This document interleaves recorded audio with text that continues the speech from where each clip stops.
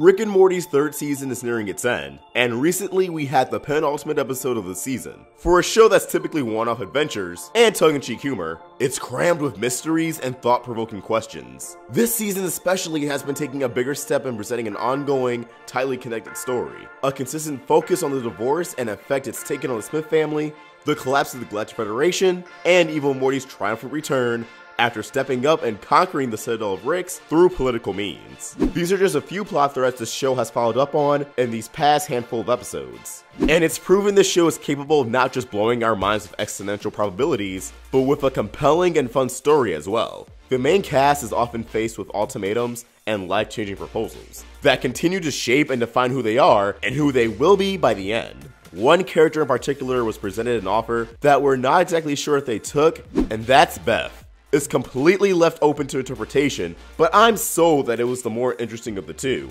Let's dive into the odds and implications of her decision today on Interdimensional Intellect.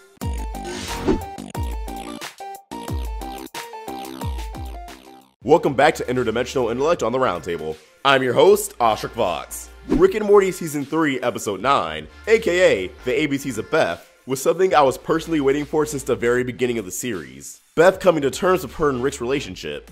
This installment was a new dynamic for the show, a Rick and Beth adventure. The two revisited Froopyland, a world Rick created for Beth as a child, a dimension seemingly to shield Beth from reality, a place for Rick to lock up his daughter and put off his parental duties. But the truth is quite the opposite. This was somewhere to put Beth to protect her peers. Beth was an extremely destructive child, asking Rick to create weapons of mass destruction, masked as silly kindergarten-ass knickknacks. Beth claims this was a move to spend time with her dad, yet the audience knows what this really meant, and it's not too long before Beth herself acknowledges it. Beth is something worse than evil. She's just like her father, smart, calculated, and uncaring. She's never included in on the family adventures because she's without a doubt the dangerous one.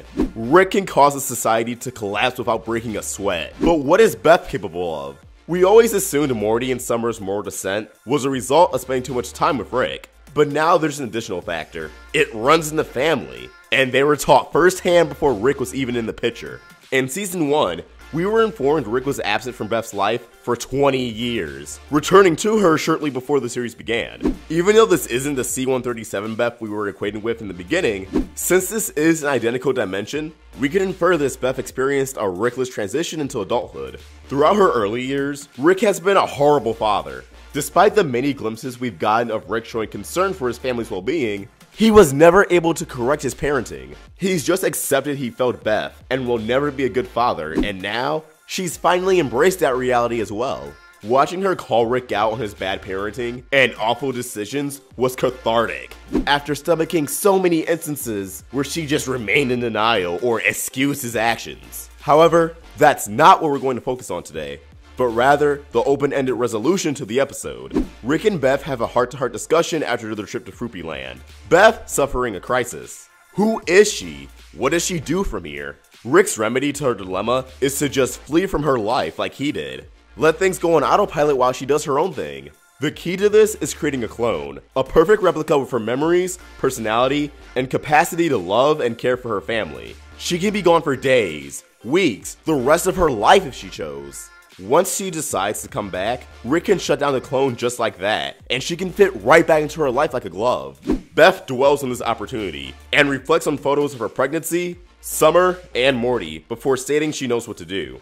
This alludes that she's chosen to stay with her family, and the very next we see of Beth is at the end of the episode. Happy with her family, and moving forward as a changed woman.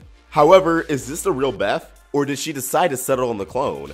Personally, I believe it's the clone. Now, in a show where there's infinite versions of the Smith family, and likely a few clones running amok all of them, why does this matter in the grand scheme of things? If she really has left an uncanny replica in her place, what does this change? In terms of character dynamics and the structure of the show, nothing. Nothing changes. The show can go on and we'd be none the wiser, unless this is brought up again. However, in terms of the Beth of this dimension, the one we've been acquainted with the longest, this means everything. Beth is the same as Rick. We know this, but here is the defining difference.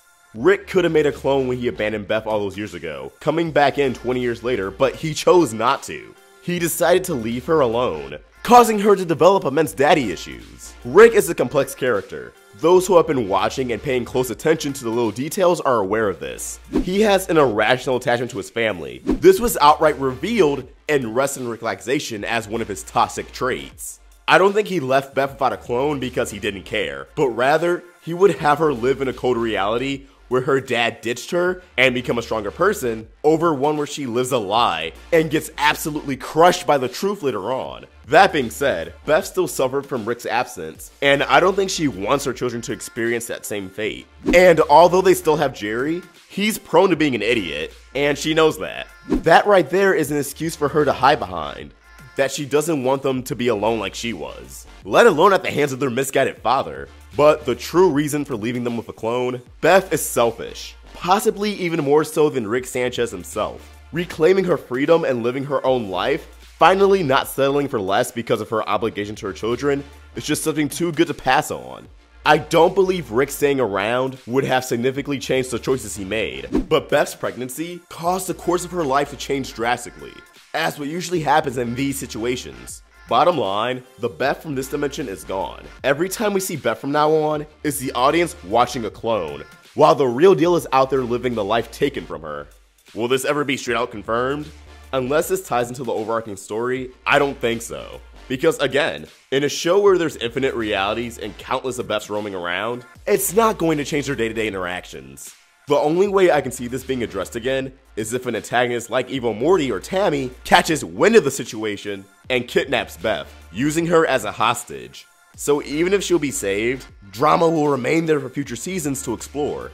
But as always, these are just my thoughts and I'd love to hear yours. So please, leave them in the comments section below. How do you feel about this theory? Do you agree with our analysis on Beth? Is there a chance Clone Beth could go rogue in the future despite Rick's claims? Let's get a discussion going.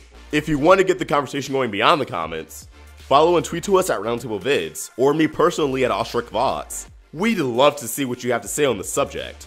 If you want to get even more social, join our Discord and chat up in our Rick and Morty channel, or download our official Roundtable Amino app, where you can discuss Rick and Morty and other cartoons. Also, if you had a good time watching this video and want to help us grow, consider supporting us on Patreon. Links to everything in the description. And hey, while you're in the description, why not follow the rest of our hosts and crew? And our other social media like Instagram, Snapchat, and Facebook. As always, if you enjoyed this video, please it a like. And if you're new here, hit that subscribe button. It really helps us out.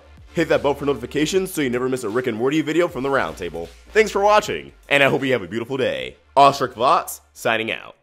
This video has been powered by Patreon. If you want to give us some more support, head to patreon.com slash roundtablevids, become a patron, and get some awesome perks. Thanks for watching another video on the Roundtable.